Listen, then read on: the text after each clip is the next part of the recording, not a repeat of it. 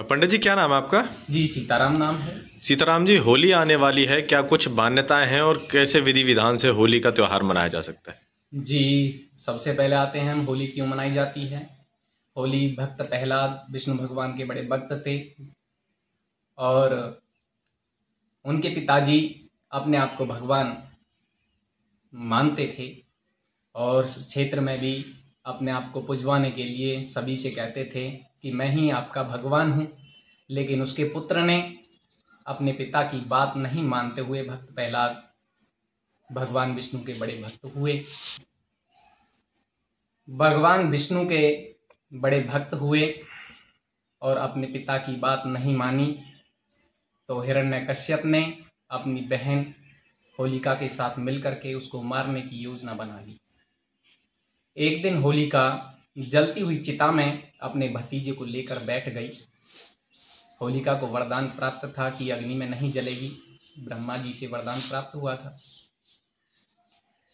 लेकिन भगवान की इच्छा से, भगवान की माया से होलिका जल गई और भक्त प्रहलाद बच गया।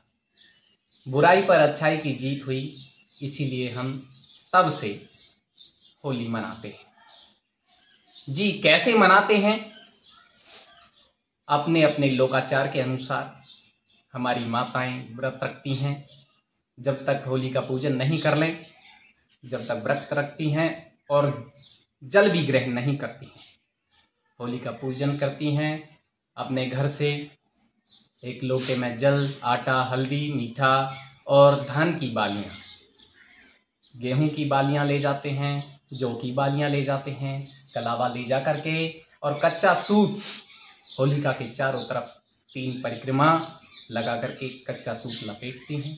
तीन परिक्रमा करती हैं सात परिक्रमा करती हैं अपनी इच्छाओं से अपनी मनोकामना के अनुसार करती हैं। क्या कुछ शुभ मुहूर्त हैं इसके? जी शुभ मुहूर्त होली का हर वर्ष फाल्गुन माह की पूर्णमासी तिथि को आता है। अब इसमें शुभ मुहूर्त ये है, सुबह ग्यारह बजे से होली का पूजन शुरू होने वाला है। लेकिन होली का दहन अब की बार रात्रि को ग्यारह बजकर सत्रह मिनट से लेकर के बारह बजकर सत्ताईस मिनट तक चलेगा। और चौबीस मार्च को होली का मनाई जानी है।